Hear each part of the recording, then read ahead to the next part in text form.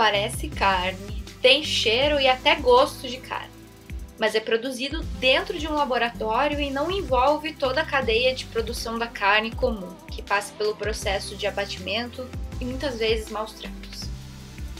Parece impossível, mas é isso que pesquisadores da Universidade Federal do Paraná chamam de carne celular produto que é resultado de uma extensa pesquisa sobre proteínas alternativas. Além da carne, outros tipos de proteína, como ovos, leite e seus derivados, também podem ser produzidos pela mesma técnica desenvolvida pelos pesquisadores. De forma simplificada, a carne celular é feita a partir de células animais retiradas de forma indolor, que se multiplicam em bioreatores, formando um aglomerado de células que dão formato à carne. É uma técnica que envolve colher algumas células e daí multiplicar essas células em ambiente é, controlado, em bioreatores, para que essas células se multipliquem e formem, por exemplo, tecido muscular, que nada mais é que um conjunto de células musculares junto com células adiposas, e por isso a gente tem gordura misturada na carne, né? Só que quando a gente fizer isso via carne celular, a gente vai poder dizer quero 10% de gordura, quero 5% de gordura, nós vamos poder, inclusive, pensar em fazer uma carne onde a proteína muscular é de origem animal, a partir das células musculares dos animais, e a gordura vegetal, se nós quisermos, por exemplo, uma carne é, com um teor baixo de colesterol.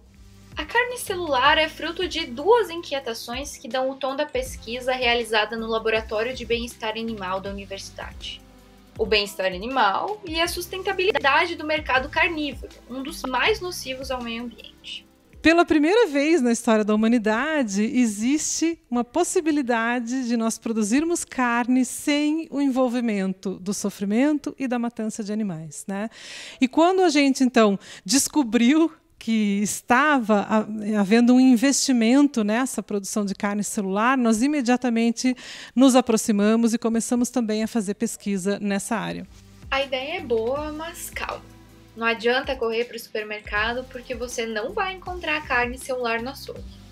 Pelo menos ainda não. Em 2019, uma pesquisa sobre intenção de compra do produto foi realizada com consumidores de Curitiba e Joinville que demonstrou o interesse de 63,7% dos entrevistados na carne celular.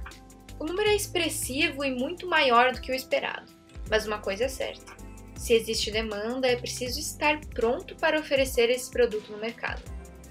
O pontapé inicial para isso já foi dado. Pensando na etapa de escalonamento, momento em que a ciência e a empresa se juntam para fornecer novos produtos ao consumidor, foi idealizada a Rede Paranaense de Proteínas Alternativas.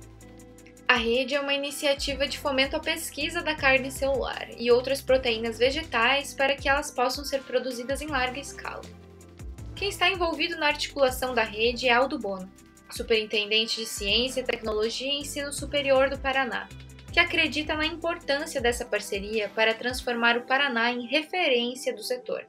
Então, nós estamos discutindo não só do ponto de vista interno da academia, mas também com a iniciativa privada, com os grandes players do setor de alimentação uh, no país, né, como que a gente pode fazer avançar isso e ter até o estado do Paraná como pioneiro e líder nacional uh, sobre o tema de proteínas alternativas, carne cultivada, etc., que são temas extremamente contemporâneos e urgentes. Segundo a professora Carla Molento, a pesquisa da carne celular se compara à corrida do ouro, porque, uma vez à venda, vai impulsionar um dos setores que mais movimentam dinheiro no mundo.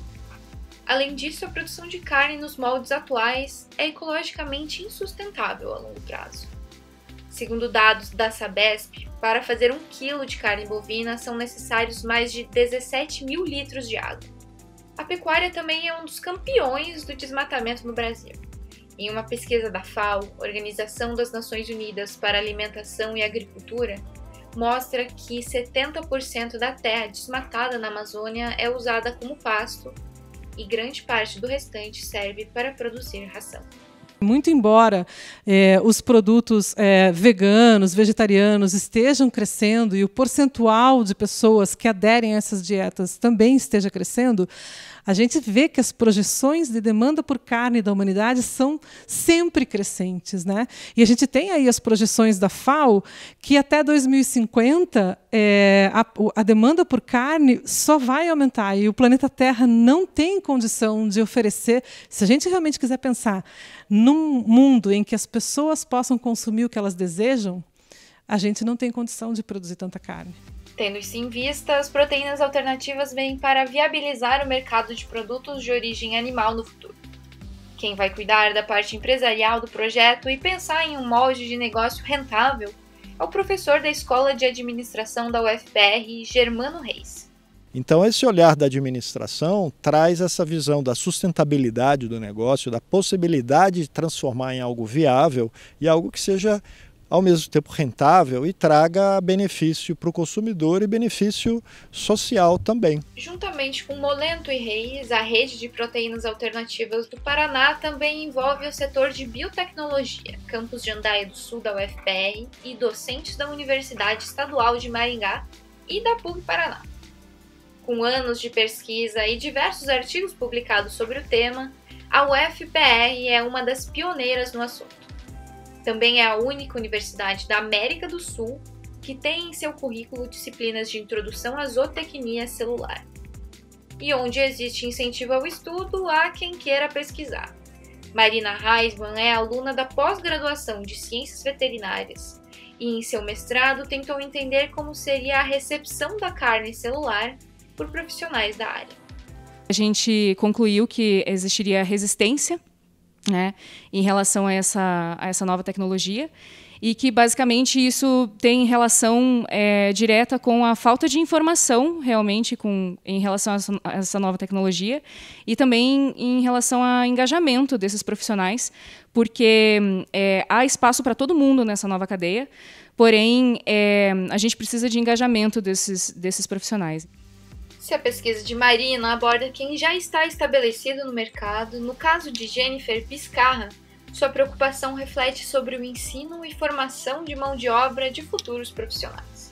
Minha pesquisa é a respeito do ensino da zootecnia celular no Brasil. Como que as disciplinas devem ser organizadas a fim de formar mão de obra especializada para trabalhar, então, nessa nova é, cadeia produtiva. Existe, assim, uma estimativa de, de produto em gôndola em 2023, 2024. E se a gente organizar é, cinco anos de educação de um aluno de zootecnia, de medicina veterinária, de uma biotecnologia, por exemplo, eles têm que estar sendo introduzidos nessa realidade desde já para sair no mercado de trabalho aptos para trabalhar, então, com essa nova cadeia. O plano de tornar a carne celular em um produto comercial ainda não se concretizou.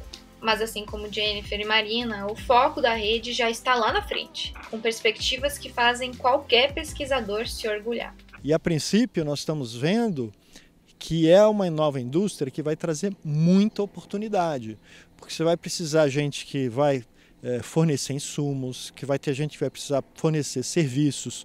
O veterinário que trabalha na carne convencional, ele vai poder passar a ser alguém que, por exemplo, que seleciona células a serem usadas nesse cultivo.